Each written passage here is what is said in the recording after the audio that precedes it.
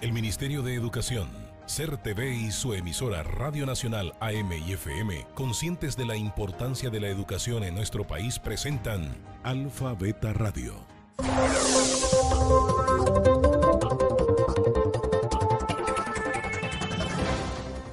Muy buenos días, estimados redescuchas del programa Alfa Beta Radio. En esta ocasión les acompaña este su servidor Serafín Rodríguez para llevarles hasta sus hogares las últimas noticias del Ministerio de Educación. Antes de iniciar, queremos darles la bienvenida a los cientos de estudiantes que hoy retornan al segundo trimestre de este año escolar semipresencial y a distancia, exhortándolos a estudiar y continuar cuidándose con todas las medidas de bioseguridad al salir de sus casas. Presentamos a continuación los titulares para el día de hoy.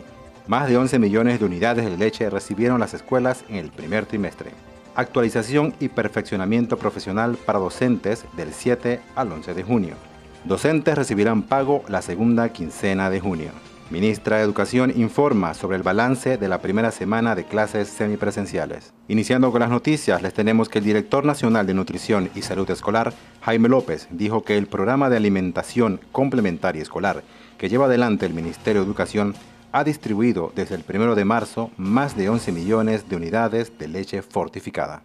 El Ministerio de Educación a través de la Dirección Nacional de Nutrición y Salud Escolar, con el programa del vaso de leche, ha distribuido a nivel nacional 11 millones de unidades de leche fortificada en 584 centros escolares, donde se está beneficiando a 223 mil estudiantes de 6 a 12 años de edad. Este beneficio se extenderá hasta el 29 de octubre de este año. Durante la semana de receso escolar, la Dirección Nacional de Formación y Perfeccionamiento Profesional, junto con otros despachos e instituciones, organizó una serie de capacitaciones, seminarios y diplomados dirigidos a afianzar los conocimientos de los docentes. Anabela Yepes, directora nacional de Formación y Perfeccionamiento Profesional, nos amplía la información. El Ministerio de Educación, nosotros en esta semana no hemos convocado a, le hemos dado a los docentes capacitaciones en los temas de fortalecer la enseñanza de las ciencias entre media con metodología activa para la indagación del IESTIN. También tenemos enseñanza de aprendizaje de la geometría, la estadística y el álgebra para educadores de nivel primario, trastornos por déficit de atención con o sin hiperactividad, orientación y estrategia para docentes, desarrollo de un proyecto de, de manejo y producción acuícola cambios climáticos y sus efectos en la agricultura, actividad porcina basada en cama baja y tenemos también tres diplomados, de los cuales unos, eh, los tres son, uno es en estrategia de educación híbrida, aprendizaje del siglo XXI, aplicaciones en el aula con Microsoft Teams.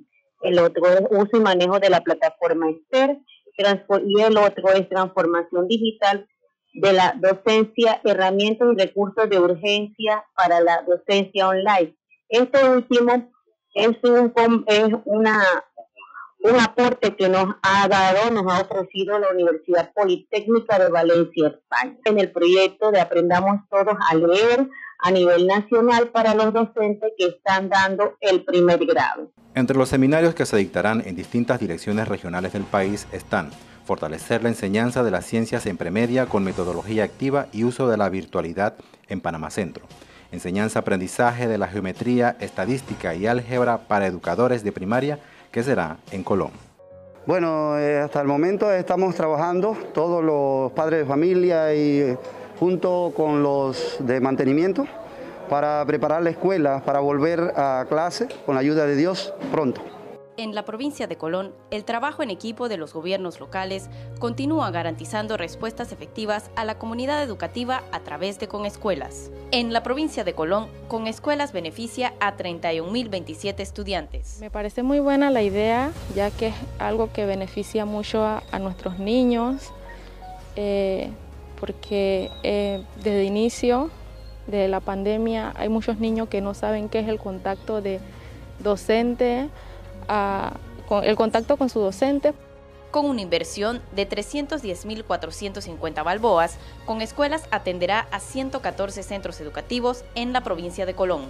Bueno, en realidad, este, si hablamos, este, se aprende más eh, presencialmente, ¿verdad? En la escuela, porque ya ellos tienen la mayor comunicación eh, lo que se ha hecho es luchar, ¿verdad? Como dijimos, para que los niños no se atrasen tanto, pero sí les cuesta un poquitito más, así como estamos. Al igual que en otras provincias, en Colón se realizan trabajos como instalación de tanques de reserva de agua, electricidad, plomería, pintura, ornato, cambio de techo, herrería, cielo raso y atención en áreas deportivas.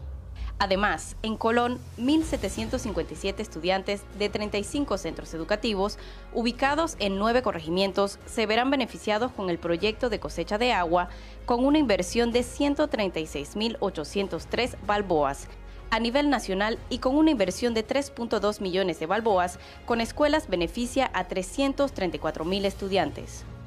El trabajo constante y disciplinado de un equipo articulado ha encontrado en momentos difíciles oportunidades para establecer alianzas, empoderar a los gobiernos locales y lograr la gobernanza desde las comunidades. En más noticias, la ministra de Educación, Maruja Gorday de Villalobos, se refirió al balance de la primera semana de clases semipresenciales. Escuchemos su planteamiento. Bueno, el balance de esta primera semana del retorno semipresencial en 78 centros educativos ha sido muy positivo.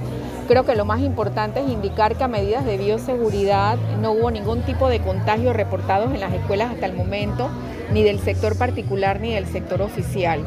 Nos estamos preparando también eh, para más de 200 escuelas que están en trámite de ingreso y obviamente con la articulación con el Ministerio de Salud para ir revisando las condiciones de los corregimientos. Creo que lo más positivo, además de los aprendizajes que para nosotros es vital, es ese momento de reencuentro, esa parte de la interacción entre los niños pequeños, sobre todo la parte socioemocional, la relación maestro-estudiante y todo lo que ha representado ya en muchas escuelas la activación del proyecto Estudiar sin hambre, que es ese plato de comida caliente que también provee la escuela como parte de ese apoyo integral en medio de, todo este, de toda esta pandemia.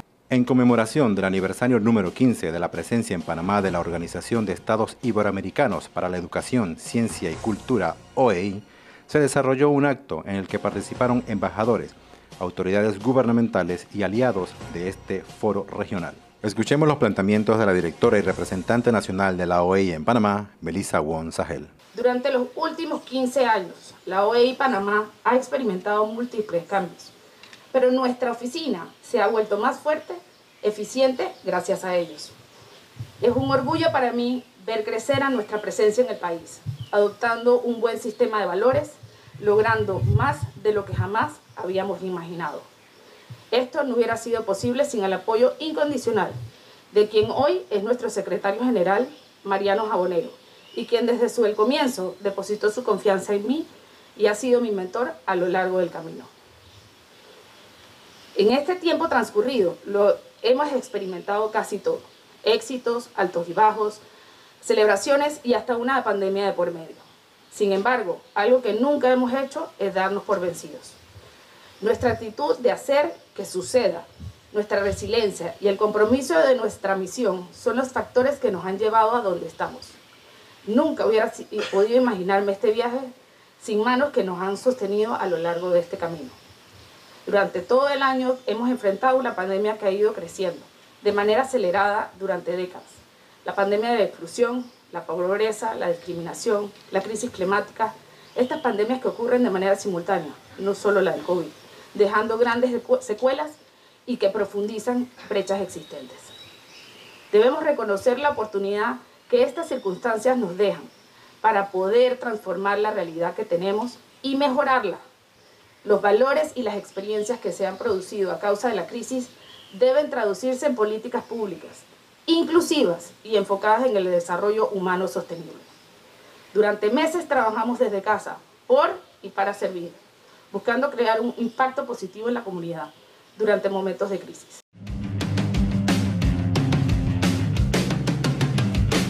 Hola chicos, bienvenidos a Un Minuto para ti. Quiero iniciar en esta ocasión haciéndote una pregunta. ¿Cómo te has adaptado a la era tecnológica?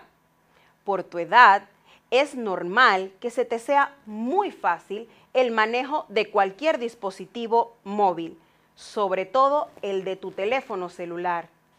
Pero es importante que revises el manejo que diariamente le das a tu conectividad en el Internet. A ver, empecemos. ¿Qué horario tienes para utilizar tu WhatsApp?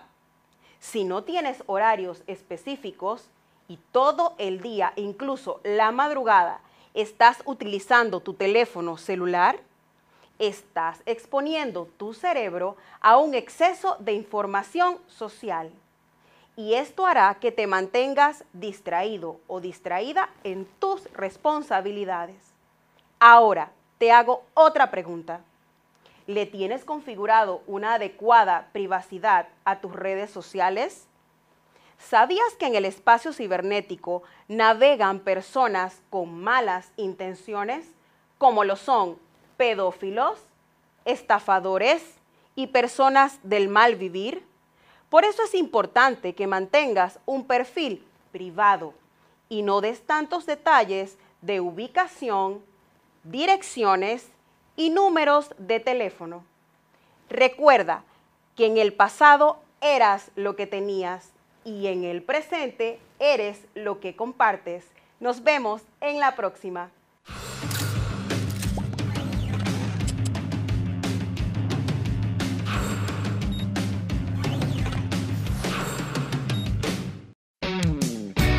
El Ministerio de Educación ha establecido el retorno a clases semipresenciales basándose en el decreto ejecutivo número 435 del 13 de abril del 2021. Sé que hay muchas preguntas sobre el retorno a clases. Vamos a responder alguna de ellas. ¿Cuándo será vacunado mi hijo? No hay ninguna vacuna para menores de 16 años. El cronograma de vacunación a mayores de 16 años será establecido por las autoridades de salud. Recuerda, reforzar las medidas de bioseguridad debe convertirse en un hábito mientras sea necesario. Recuerda seguir informándote en fuentes oficiales del Ministerio de Educación o el Ministerio de Salud. Y si tienes dudas, acércate a tu centro educativo.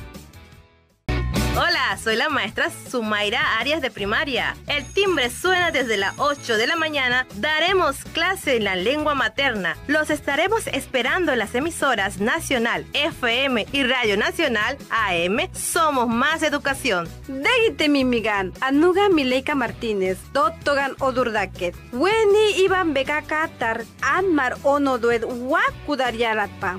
Wachi ilababaki, wes nundup, ansuma inonikue. Anmargaya burba odurdaketki, degisoku anabiabitomalo, cuacua anabitomalo, we Radio Nacional FM, que Radio Nacional AM y Tomargua. Regresamos. Como positivo, calificó la profesora Isel Rodríguez luego de una reunión de la ministra con docentes en la que se acordó el pago de sus salarios a partir de la segunda quincena de junio. Y bueno, estamos contentos, acabamos de terminar una reunión con la ministra de Educación donde fue realmente positivo. Eh, los docentes que salimos por concurso, nombrados por concurso, eh, en realidad tal cual como se nos había dicho, se nos había prometido, vamos a cobrar en la última de junio, tal cual como se dijo y pues esto es un gran avance para nosotros y un gran alivio para todos aquellos compañeros que salieron en concurso y que a la fecha no han cobrado, pues imagínense tanto tiempo sin cobrar y que nos digan que ahora vamos a cobrar, realmente nos sentimos contentos. La señora ministra, tal cual como ella se comprometió y nos dio su palabra, asimismo pues dijo que en efecto en la última de junio los docentes que hacen falta por cobrar los 424 vamos a cobrar. Hay algunos trámites, son tres compañeros que trabajan de repente en la universidad o en otra escuela, entonces el horario eh, no lo mandaron o salió borroso, la Contraloría los, lo rebotó, entonces esos serían como tres casos solamente. Eh, de dualidad de pago también. Y bueno, están los casos de los compañeros que fueron nombrados por junta y los programas de multigrado, esos también se van a pagar porque sí hay el fondo, pero se están haciendo todo lo que es la firma y estas cosas. Pero los compañeros nombrados por nombramiento por concurso van a cobrar a excepción de los tres que tengo que comunicarme con ellos para que vengan a traer la documentación que hace falta. Unos 60 estudiantes de diversas regiones educativas del país formarán parte de la Academia Bilingüe Panamá para el Futuro, ubicada en la ciudad del Saber. encaminado a educar a los estudiantes con estándares internacionales. La directora de Educación Media Académica, Isis Núñez, explica al respecto. En esta ocasión tenemos aquí reunido a los estudiantes de las regiones educativas de San Miguelito, Panamá Norte, Panamá Centro, Panamá Oeste, Panamá Este y Emberá, que son estudiantes que este, se les otorgó la beca. Estos son 60 estudiantes nuevos que va a tener la Escuela Academia Bilingüe Panamá para el futuro. Estos 60 estudiantes deben ingresar ahora en agosto. Es una reunión que tenemos, un conversatorio con ellos, con los padres y madres de familia, los estudiantes, para explicarles pues en qué consiste todo el tema del bachillerato en ciencia, el bachillerato internacional y prepararnos también para la entrada de los estudiantes que ellos van a estar internados. La escuela pues está ubicada aquí en Ciudad del Saber, entonces un acompañamiento que le estamos dando a los padres y madres de familia, explicándole todo lo que es la organización, la planificación, la logística de cómo vamos a atender a los estudiantes durante este, el periodo escolar de ellos. La Escuela Academia Bilingüe Panamá para el Futuro utiliza el calendario internacional. Ellos van a iniciar clases en agosto hasta agosto 2021 a junio del 2022. En total nosotros tenemos 90 estudiantes, que fueron los 90 estudiantes seleccionados el año pasado, o sea, 2019 para 2020. Ya los chicos terminan clases en el mes de junio de este año 2021 y ellos van a pasar a un décimo grado, que es el quinto año de secundaria, y estos nuevos estudiantes entonces inician el cuarto año, que es décimo grado, en el mes de agosto. Mi hija me ha enseñado que hay que luchar por lo que se desea. Así lo expresó Manuel Díaz, padre de familia. Escuchemos. Eh, me puse a analizar de que como vida profesional, cómo, cómo darle esa oportunidad a ella. Y esa oportunidad es de, a dársela a mi hija, vi el enfoque que ella me enseñó, como le decía un momento dado, de que yo quería que esto fuera una violinista. Y ella entró, estudió, pero no siguió. Me mostró lo que ella le gustaba, que era el arte de pintura. Ella le gusta dibujar, pintar. Incluso le gusta mucha caricatura, dibuja mucha caricatura y esto. Y dibuja a los hermanos. Entonces, ella me enseñó que yo debo dejarle a ella emprender lo que ella quiere y fue algo que dentro de esta educación como papá, hijo, hija, me enseñó de que no solamente soñar algo que quiera uno como padre, sino dejar que ellos vivan su propio sueño para poder ser un profesional a la medida que ellos quieren. Entonces ella le gusta la ciencia biológica y le gusta la biología. De pequeña siempre me ha definido que ella quería ser bióloga para, para estudiar los animales y, y los microbios. Y esto me ha dado una oportunidad de que ver y entender a mi hija que yo debo ser, así como yo quería ser emprendedor como profesional, ella también tiene su propia idea y su propio sueño. El Ministerio de Educación inició el despliegue masivo de modalidades de aprendizaje, con una diversidad de formatos, plataformas y la movilización a las comunidades para garantizar la continuidad educativa de calidad y el bienestar integral de los estudiantes. En este campo de acción en el 2021, estudiantes, docentes y padres de familia reciben más de 3 millones de textos escolares, entre estos 443 mil para español e igual cantidad para ciencias naturales, ciencias sociales y matemáticas 486 mil textos para premedia, 110 mil para preescolar, 22 mil para telebásica y 240 mil guías para orientación de padres y madres de familia. 33 mil 115 tablets se entregan a estudiantes de duodécimo grado en 186 escuelas del país. El plan educativo solidario con data móvil gratis inició el 15 de marzo y más de 300 mil beneficiados entre estudiantes y docentes de escuelas oficiales con acceso gratuito a WhatsApp y plataformas educativas. Más de 6.300 docentes capacitados en los más de 2.700 comités escolares COVID para garantizar el retorno gradual y seguro a las clases. El Ministerio de Educación ha establecido el retorno a clases semipresenciales basándose en el decreto ejecutivo número 435 del 13 de abril del 2021. Sé que hay muchas preguntas sobre el retorno a clases. Vamos a responder alguna de ellas. ¿Qué hacer en caso de que mi hijo esté presentando dificultades emocionales o de adaptación a las clases semipresenciales? Solicitar apoyo a través del profesor consejero, el gabinete psicopedagógico, el departamento de orientación o la comisión de apoyo psicosocial de la escuela o programa PASE. Recuerda seguir informándote en fuentes oficiales del Ministerio de Educación o el Ministerio de Salud. Y si tienes dudas, acércate a tu centro educativo. Llegó el momento de nuestra ronda de corresponsales. Hacemos contacto con José Sánchez de la provincia de Herrera, quien nos actualiza del acontecer educativo en esta región del país. Zuleika de Fernández, enlace de la Dirección Nacional de Asuntos Estudiantiles del Ministerio de Educación y coordinadora regional de deportes de la Dirección Regional de Educación de Herrera para el programa Alfabeta Radio. Dentro de los proyectos que se están desarrollando a nivel nacional y por ende está incorporada la región educativa de Herrera, tenemos varios que son patrocinados por diferentes instituciones, organizaciones internacionales como el Banco Scotiabank, Fútbol con Corazón, Béisbol, Copa Presidente de la República para niños de 9 a 12 años. Todos estos eventos son para primaria.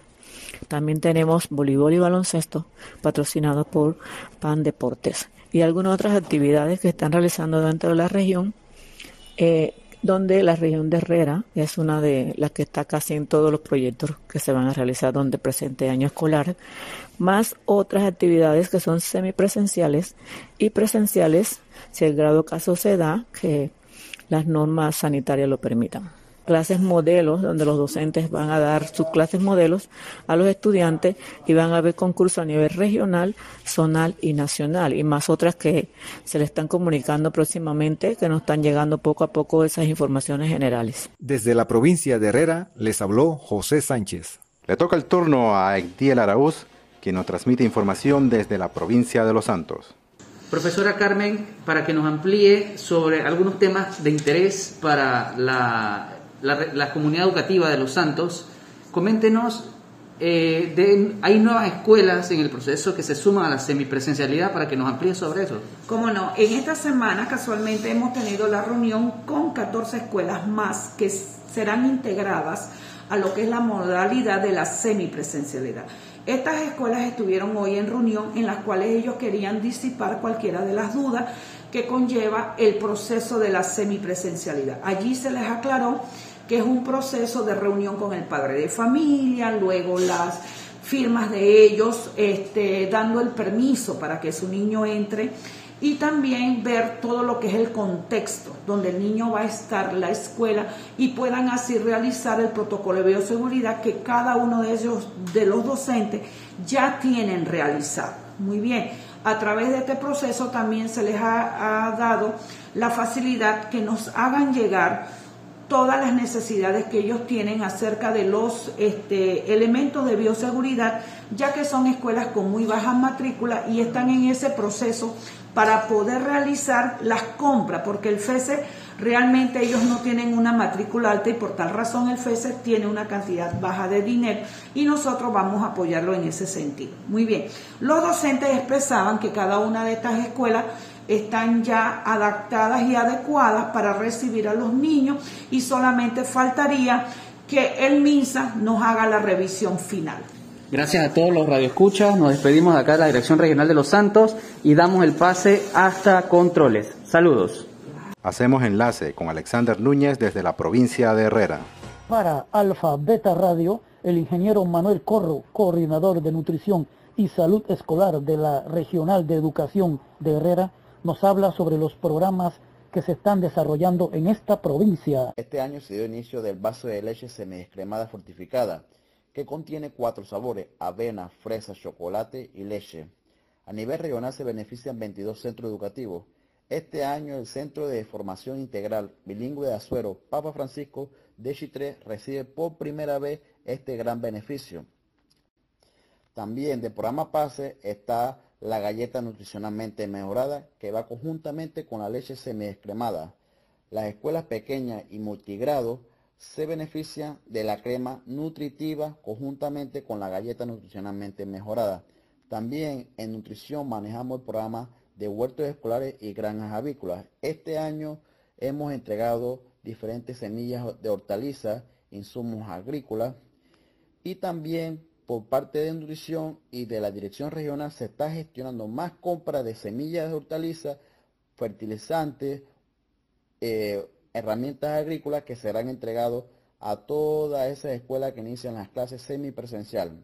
También con el equipo de nutrición se ha visitado a diferentes centros educativos que iniciaron las clases semipresencial, verificando los inventarios de, cocina y comedor para así equipar a esos centros educativos con los fondos de nutrición gestionados por la dirección regional para equiparlo y para que den inicio a esas clases semipresencial y le den una buena alimentación a todos esos estudiantes que lo ameritan. Desde la provincia de Herrera para el programa Alfa Beta Radio les informó Alexander Núñez. Vadim Moreno, su director nacional de servicios psicoeducativos, brinda algunas recomendaciones de cómo tratar el impacto psicológico en la comunidad educativa y la sociedad en general causado por la pandemia del COVID-19. Las recomendaciones que hemos eh, ofrecido a los padres, a los estudiantes y a los docentes es que envíen a, sus hijos a las escuelas, pero por supuesto que debemos cubrir todas las medidas de bioseguridad. Eh, el, saber de que los hijos nuestros van a estar en buen recaudo, pues nos hace bajar los niveles de ansiedad, los niveles de miedo que tienen, eh, en la, que es normal, pues por el contexto que estamos viviendo en la sociedad, en lo que estamos, lo que estamos pasando. Así que eh, si el padre de familia reconoce esto como, como seguro, pues por supuesto que es muy beneficioso que ya los chicos se vuelvan a, clases para recibir los aprendizajes como debe ser. Nunca va a ser igual la educación a distancia que estar en los centros escolares, ese contacto con sus compañeros, con sus eh, docentes, con sus profesores, con sus maestros. Es necesario ese, esa interrelación, ¿no? Eso, eso lo tenemos que tener claro. Y nosotros pues sí hemos dicho a los padres que si ellos no se sienten seguros de enviar sus hijos a la escuela, pues no lo hagan, que no, cree, no se cree ese estrés de doble vía, de que el padre se siente intranquilo porque no sabe lo que va a pasar y eso se le transmite al chico, al niño, y entonces se afectan ambos, el entorno de ellos queda afectado. Así que, pero el Ministerio de Educación pues sí ha eh, tratado de cubrir todos los ángulos en cuanto a la bioseguridad. Ningún centro escolar de lo que está abierto eh, no, puede, no puede abrir, perdón, no puede abrir ningún centro escolar si no cumple con todas las medidas de bioseguridad. La directora de la región educativa de Veraguas, Milka Barzallo, se reunió con supervisores de básica general y media para dar continuidad a las escuelas que iniciarán clases hoy lunes. Como no, a nivel de la provincia de Veraguas, aquí en lo que es la Dirección Regional de Educación, eh, nos hemos reunido con los supervisores de Educación Básica General y Media para pues dar eh, continuidad a estas escuelas que van a a reiniciar próximamente, ver el trabajo que a nivel de la supervisión se tiene que realizar con ellas en cuanto a los comités de bioseguridad, las medidas, todas que se deben guardar en los centros educativos y esas escuelas que están enlistadas pues para eh, próximamente eh, ir a la semipresencialidad. Entonces es importante cada una de ellas, además de todos los informes que se tienen que estar entregando mensualmente, eh, para poder tener la información en el tiempo requerido. Todas estas zonas ya tienen supervisor, estamos con una eh, nada más en el área de Cañaza, pero el coordinador de básica nos está apoyando en este sentido, dar el seguimiento con ella. En cuanto a la clase semipresencial, ¿se está tocando eso para una posible fecha de que los profesores puedan eh, interactuar con los docentes? Sí, como no, nosotros estamos evaluando las escuelas que pues han manifestado ya ese interés y que tienen una baja matrícula para que eh, próximamente se pueda dar el reinicio en ellas. Así concluimos esta edición de Alfabeta Radio, el programa del Ministerio de Educación, presentado por este su servidor Serafín Rodríguez y Gabriela Vega. Bajo la coordinación de Beira Vega, esta ha sido una producción de la Dirección Nacional de Comunicación del Ministerio de Educación, bajo la dirección de Garibaldo Carrión. Están invitados a que nos escuchen el próximo lunes, cuando les compartiremos más informaciones. Hasta la próxima.